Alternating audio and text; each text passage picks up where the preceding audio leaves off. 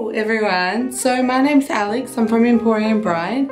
We've just got a client, she's probably about an hour away from coming from her first consult. She's already given me the brief of what sort of wedding vibe she wanted to go for and I'm just putting together some sort of a look that I think that she'll like.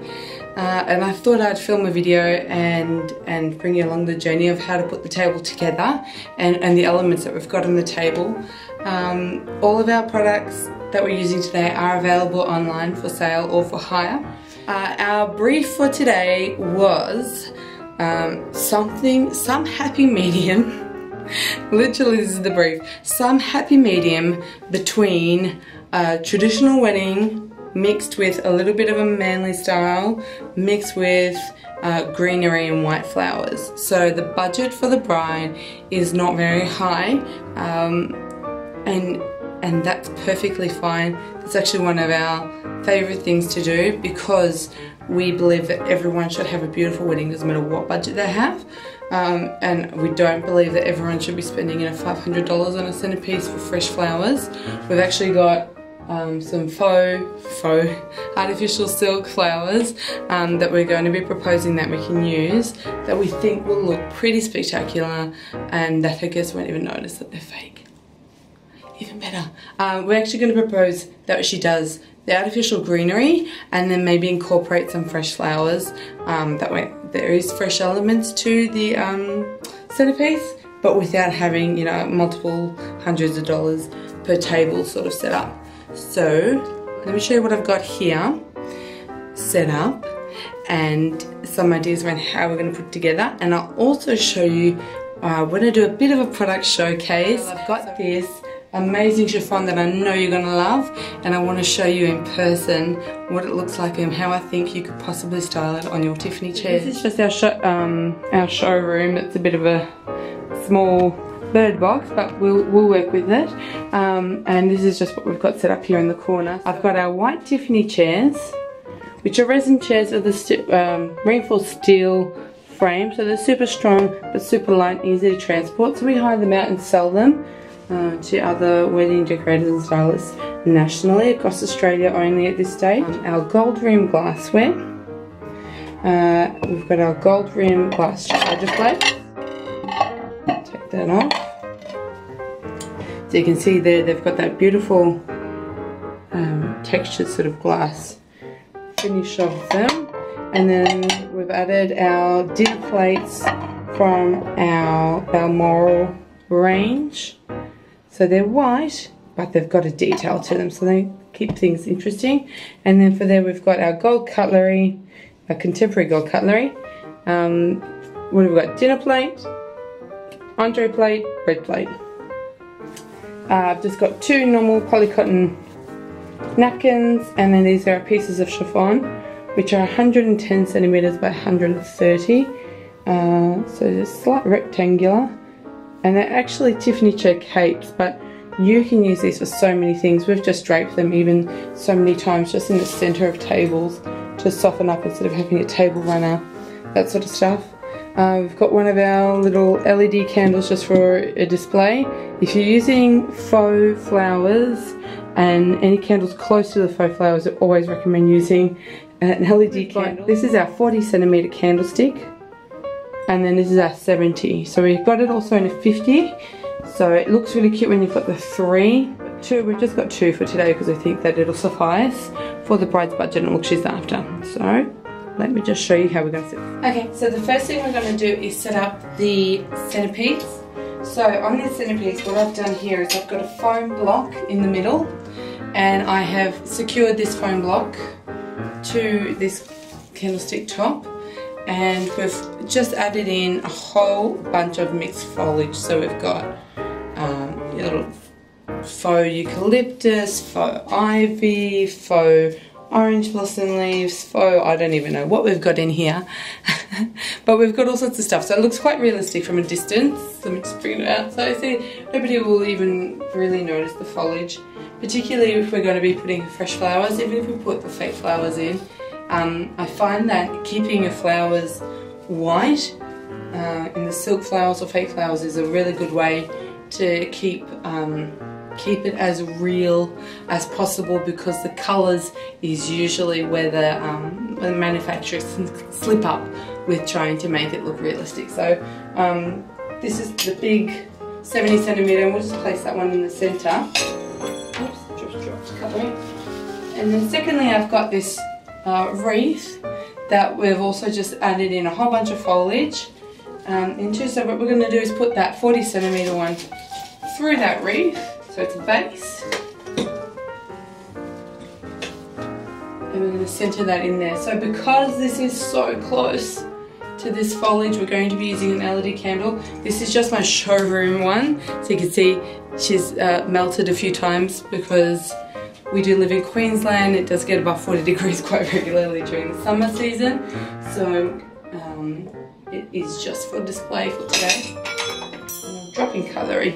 So now what we're going to do here is set the table first. Now this is just a showroom example, so I've only got the two settings that I'll be putting down today. Charge plate first and then dinner plate, very original. I know, I know. Charge plate, dinner plate, right. Beautiful, nice and centered. So then we'll put our entree plates centered onto the table as well. Our bread plates. So see this foliage is in the way bit. Gonna, this is actually better. So we've got the foliage going over the top of the candle. Stick base of the 70 centimeter so it'll make it all mesh into the table a bit better. So we've got the bread plate and now cutlery. So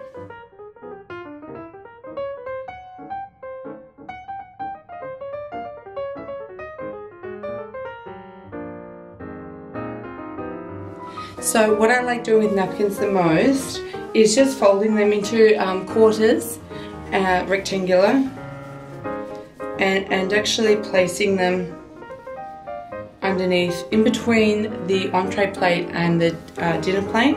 If you don't have an entree plate stacked, just in between the dinner plate and the charger plate, if you don't have a dinner plate stacked, just in between the charger plate and the table. So we just put them down flat, I'll show you shortly. Uh, I find that it's probably the easiest way to keep it out of way, um, but obviously it's a really practical item that you need. Uh, we, I don't really like going into crazy detail with how to fold them or tie them in knots or um, the most that we will do maybe is put a napkin ring on them. So you can see there I folded it just in a rectangle. It isn't pressed for the sake of today's display. So I just put the top of the napkin at the top of the plate and put it on. So you can see it's out of the way, but it adds a bit of an interest to the table there. So I'll just do it on the other side as well.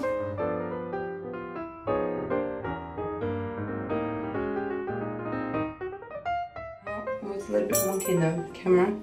We've got our entree fork and knife, main fork and knife, butter knife, dessert fork and spoon.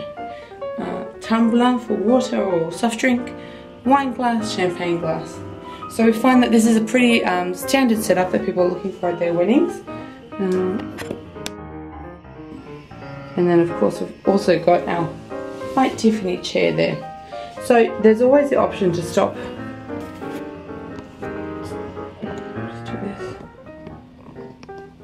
So there's always the option just to stop at this look here.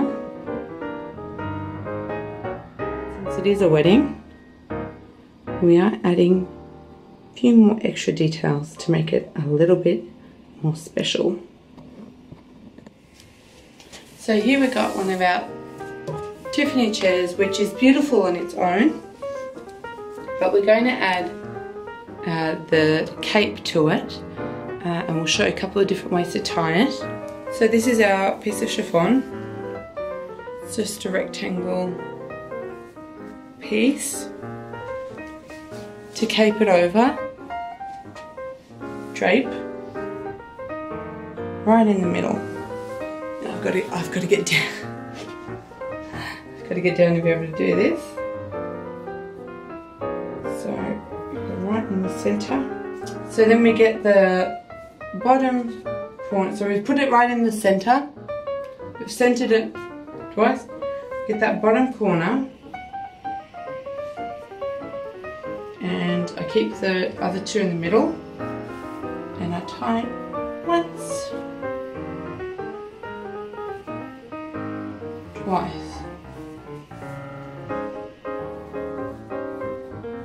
And that second time just undid, so I'll just do it again.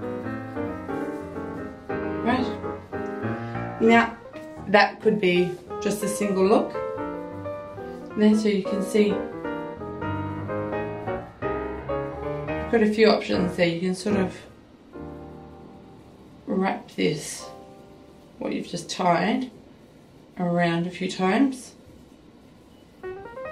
Gives it that slightly more neater tie, tuck it under, and then you've got the two tails coming down. The other option is of course is to get this and to tuck it also under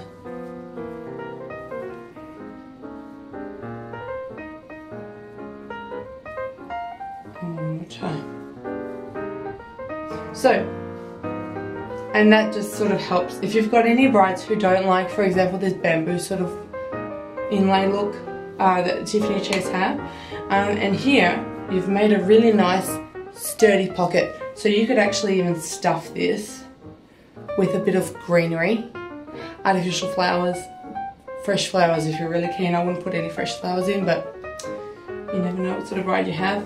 Uh, I would pin it. I'd get a little safety pin and just clip it in or, or something, this little pin in there. There's a lot of options of what you can do with this little pocket here to make your chair a little bit more interesting. I personally, for this look, because I want, because with the brief is um, somewhere in between traditional wedding, bit masculine, bit glam, a bit trop luxe, a bit of everything.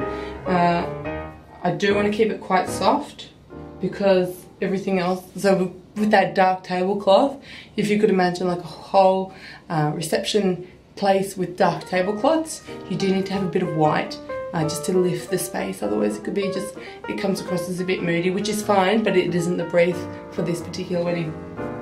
So I'm gonna leave it like that. I am gonna leave it tucked over so it looks like a little round bit. I mean, if you've got little clips, you've got these little Diamante clips that you can get in and check on a bit of bling. Anyway, I'll do the second chair now and I'll show you the final look.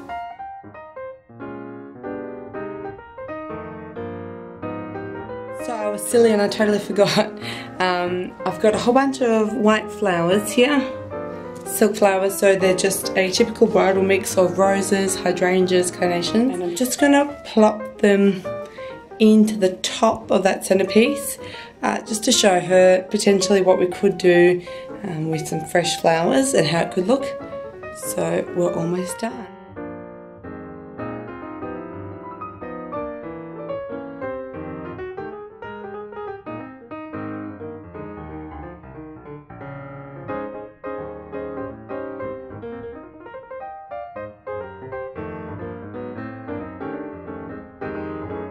So that's it, that's our final look. Um, she's just about to come in, so that's really good timing. So thanks so much for watching. Please like this video if you thought it was half decent and that you learned something new.